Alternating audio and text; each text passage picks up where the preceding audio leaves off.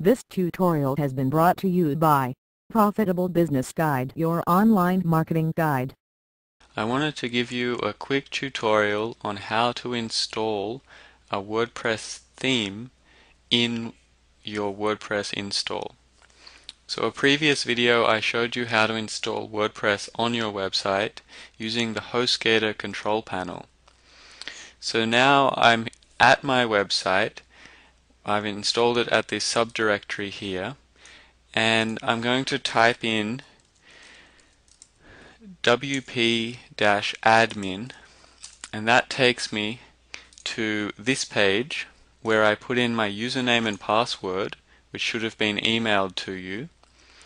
And then when you click login it'll take you to the dashboard of your website. And this is where you manage all your posts your images, your pages, everything. It's the back office of your website. And prior to this, you will have gone to Elegant Themes or whichever theme company you're using. We recommend Elegant Themes because they're so cheap, so beautiful and professional, and they have a really good community for forums of troubleshooting, etc. So you go to the members area and you'll put in your username and password and then you'll see all their themes. They have, I think, around 50 different themes and they keep bringing new ones out. So that one-time fee of their membership gives you access to all of their themes. I want the feather theme for this example. So I click download and then I unzip it. See, here's the the file I've just downloaded and then here's the unzipped version. In here you see all these files, Photoshop files, README, but here's the actual theme.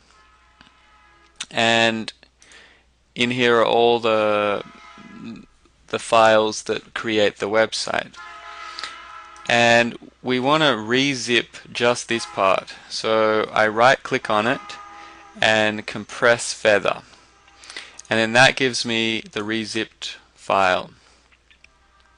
So now when I go back to the dashboard of WordPress and on the left hand side I hit the appearance tab and then hit themes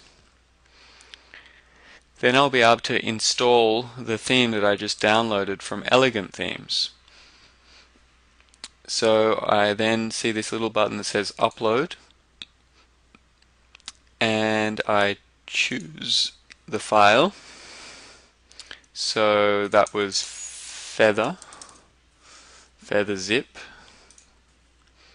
open, install now activate and there's my theme. So if I go to my website it will no longer be the generic WordPress theme it'll be the new feather theme and you can see they've got a huge amount of customization available right here so you can make the site look exactly how you want it.